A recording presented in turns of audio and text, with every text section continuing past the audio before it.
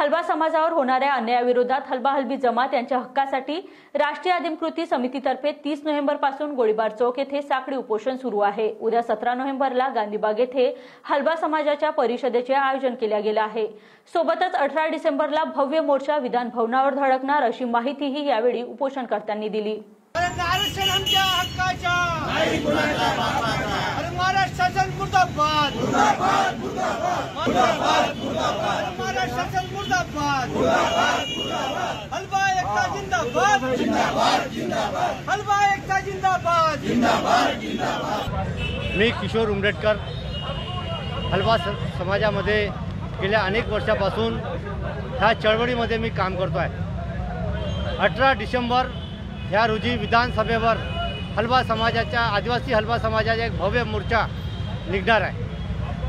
उद्या गांधीबाग राबा कुंभारे यांच्या पुतळ्यासमोर राष्ट्रीय आदिम सुटी समितीच्या वतीने एक भव्य प्रदे संमेलन परिषद संमेलन आयोजित करण्यात आलेलं आहे. ह्या परिषदमध्ये वीस ते पंचवीस हजार लोकांची लोकसंख्या त्या परिषदमध्ये राहणार आहे. आम्ही ना आमच्या समाजाचे सगळे आजी माजी नगरसेवक ह्या संपूर्ण नागपूर शहर नागपूर जिल्हा ज्या ज्या समाज ज्या हलवा समाजाची बाऊल वस्ती आहे त्या वस्तीमध्ये जाऊन ह्या मोर्चाचा प्रचार चालू आहे.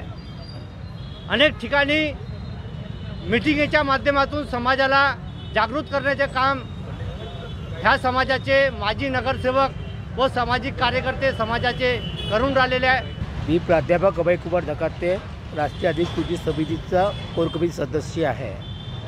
मी या ठिकाणी दहा नोव्हेंबरपासून आमरण उपोषण करीत आहे आणि आज सातवा दिवस आहे. आमची मागणी एकच आहे की आम्ही आदिवासी हलवा आहोत. एकोणीसशे पन्नासमध्ये जी अनुसूची यादी होती त्या यादीत आमचा समावेश होता. परंतु विटकरी व्यवसाय केल्यामुळे आम्हाला कुस्ती असे संबोधण्यात येत येत होते. आणि याचमुळे आमची जात ही कुस्ती ठरवण्यात आली आहे. परंतु आपली जात कुस्ती नसून हलबा आहे आणि हीच आमची मागणी आहे. आणि याविषयी घटना दुरुस्ती करावी यासाठी हे आंदोलन चालू आहे. मी राजेश शिवशंकर धकाते. माजी नगरसेवक नागपूर शहर आम्ही अनेक दिवसापासून प्रामाणिकताने लढा देत आहे. सरकार दरबारी आमची अनेक वेळा निवेदन झालेत. त्यांच्यासोबत बैठका झाल्या. आजपर्यंत मागच्या त्रेचाळीस वर्षामध्ये सरकार दरबारी आम्हाला न्याय मिळाला नाही.